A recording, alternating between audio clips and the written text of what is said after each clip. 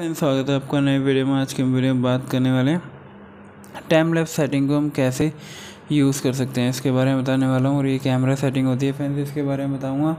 तो चलिए friends, video को शुरू करते हैं।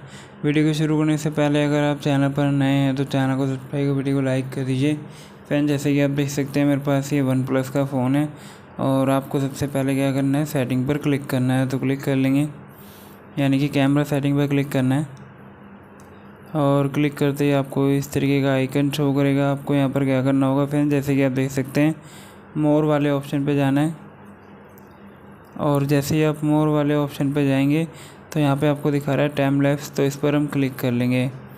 क्लिक करते ही आपको ये इस तरीके का आइकन शो करेगा। आपको यहाँ पर क्या करना होगा, जैसे कि आप देख सकते हैं, मैं यहाँ पर वीडियो को ऑन कर लेता हूँ। और ये आप देख सकते हैं, मैं बहुत ही स्लो मोशन में वीडियो बनाने वाला हूँ।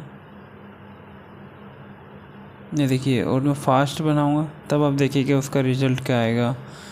तो मैं इसको स्टॉप कर देता हूँ। स्टॉप करते ही आप देख सकते हैं अपनी वीडियो को। जैसे कि टाइम लैप्स होता है।